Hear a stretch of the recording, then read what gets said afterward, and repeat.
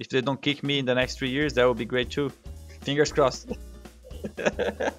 I would kick him insta from server when he started to scream. I'm definitely buy for for cold.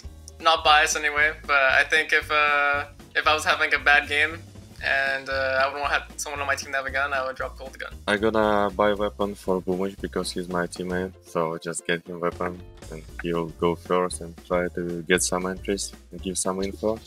I think I go for Stewie for the drop.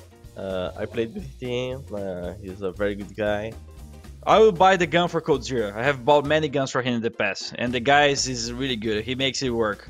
I think uh, as a friend I go for Boombish because I played some FPLs with him. He's a very good guy. I'll add my friend Stewie. Yeah, I would add Coldzera on Steam friend. I, I would add Boomich as a friend. He's uh he's always nice to me. I've won every FPL game with him. He's, he's super positive. Yeah, he's a cool guy. I would kick from the server Stewie. He likes to, to scream, so other teams scream. I would kick him insta from server when he started to scream. Uh, so yeah, uh, I'm kicking from the from my team, and you know why. I would definitely kick Boombic for the server. He speaks Russian, I speak Portuguese. We try we try some English, it doesn't go out so well. I'm left with one option, and it's uh, the kick Stewie from the matchmaking game. Could be anything, you know, not using the mic in game or, or trolling, but uh, something happened. And uh, yeah, don't take it too personal, but uh, unfortunately kicked from the game.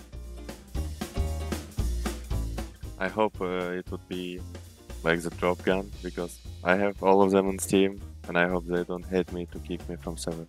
Uh, I don't think they're gonna choose like the drop because they always fight for the drops. Like if they have like one AK, like give me, give me, like it's always like that. So I think adding as a friend, kicks too much. Like as a friend. I think Cold would drop me. I don't know. I think I think most of them would add me as a friend, to be honest. And uh, maybe broky would kick me as a troll. Well, I hope they will. They will definitely not drop for me because I'm always dropping for them, and they know that for a fact. I'm always, hey Keith, give me that Galil, get my AK. I'm that type of guy. If they don't kick me in the next three years, that would be great too. Just saying. No promises though, yeah. Fingers crossed.